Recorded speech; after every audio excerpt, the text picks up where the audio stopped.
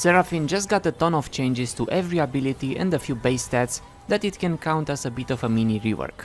Phreak mentioned last week that they will be doing a lot of changes to her because they weren't happy with the last set of changes and this is apparently to make her stronger as a mage if you build full AP. But a lot of Seraphine mains aren't very happy with the changes and are already taking their pitchforks. So let's go over them and see what happened. For base stats, she got less mana growth per level, but more mana regen growth, her base AD got reduced from 55 to 50 for some reason, and her dancing pet got faster, increasing her movement speed by 5. For the passive, the base damage used to increase at levels 6, 11 and 16, now it's a linear increase on every level, but the damage is a bit lower. The AP ratio also got reduced from 5% to 4%, and it no longer does triple damage to minions. For the Q, the base damage is increased by 5 at every rank, the missing health damage increase is also higher, the cooldown is lower in early game but higher in late, from 10 to 5 seconds to 8 to 6 seconds. The mana cost is lower in early but higher in late too.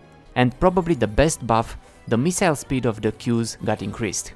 It might not be super noticeable at first glance, but for experienced players it will make a big difference and you'll be able to land them more often and hit enemies with it more consistently. And the increased AP ratio and increased damage with low health will help a lot, especially for the double Qs. For the W, the base shield got increased at every rank, the move speed AP scaling got lowered, the cooldown got reduced in early game but increased in late game, from 28 to 16 seconds to 22 to 18 seconds, and the mana cost got reduced at every rank. For the E, the base damage got increased in early but reduced in late, but the AP scaling got buffed a lot, from 35% to 50% AP.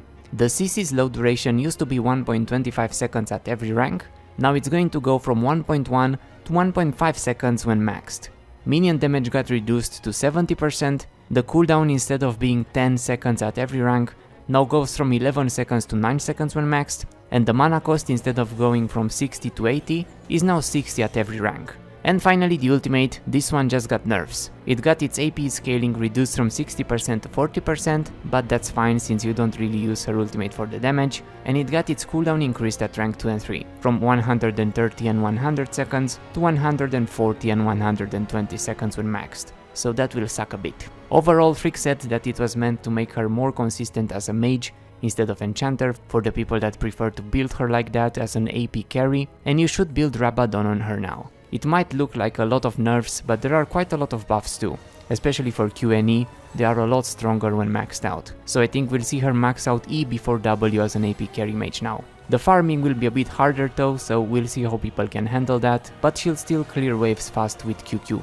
There might be more changes until this hits live servers, so leave your feedback below with what you like and what you don't like about the changes so far, let me know how you feel about them if you're a Seraphine main, leave a like or I'll steal your floating dance pad, and thanks for watching.